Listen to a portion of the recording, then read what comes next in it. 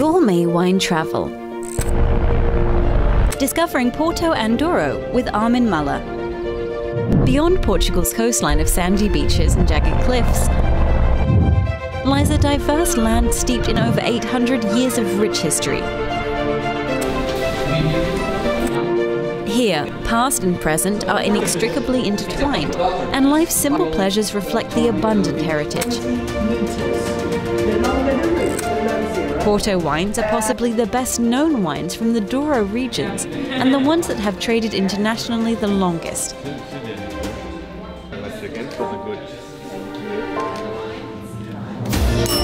The Douro region, however, produces both the fortified port wines and the lighter to body Douro wines.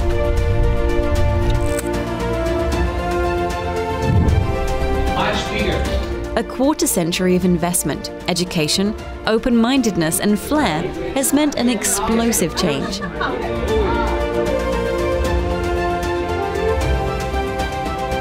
This is a vintage port. It's not a 2010.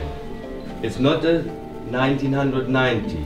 it's oh, not a 1960. But it's a 1940. Oh! I,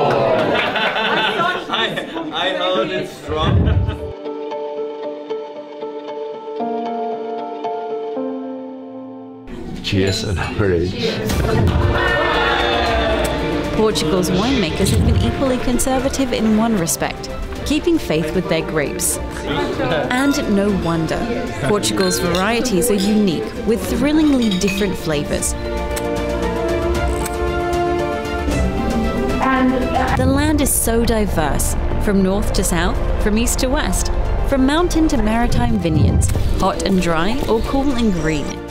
Portuguese wines are unique.